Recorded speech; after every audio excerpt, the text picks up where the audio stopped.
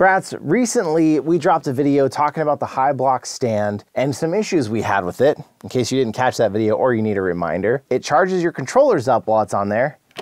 But when you disconnect your controller, it does this thing where it seems like it's shorting out the dock. Promo code when you download. Wacky slash. Download the At Wacky slash. Sometimes for great lengths of time. That's my boy. Couldn't settle for that. I thought there's either something wrong with this dock, there's something else going on here. I ordered another one. Let's find out what the real cause of this problem is.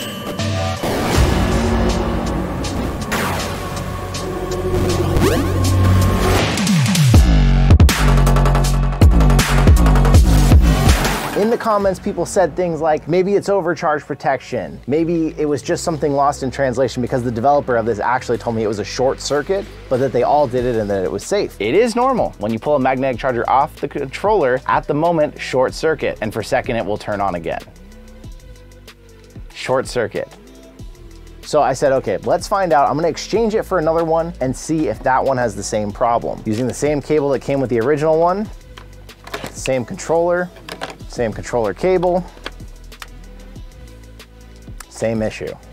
What I figured out since that original video, it's when it even moves slightly off that it does this, and it has to be perfectly centered. Something to do with the contacts on here crossing each other. It does look like maybe these actually aren't the same meant for each other. This is very small and this is much larger, meaning it has quite a bit of playroom that it can move around. If you remember, I modified my Kiwi grips to be able to charge them myself with my own set of batteries here. It comes with its own cables.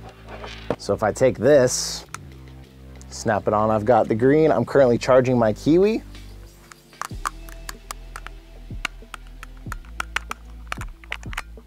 Not a problem with the dock. So HiBloks, this could be your whole problem right here. Maybe all you have to do is replace these and your dock is gonna seem a lot safer, more premium. I take this off and I attach it to here and it shows, I can see the red light inside, it shows it's charging, not a problem. Nothing I'm doing is causing that issue. Old one, immediately. I don't know what it is about these, just for posterity's sake, I'm gonna plug my into the old one one more time to prove that this is definitely not an issue with my cable. Their battery, their charger port, not a problem, and it's charging. Switch out your cables, HiBloks.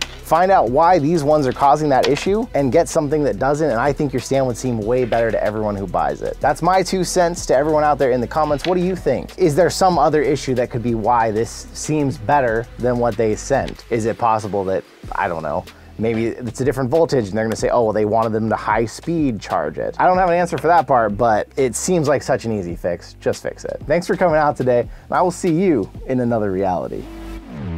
That's all it took. Different cable.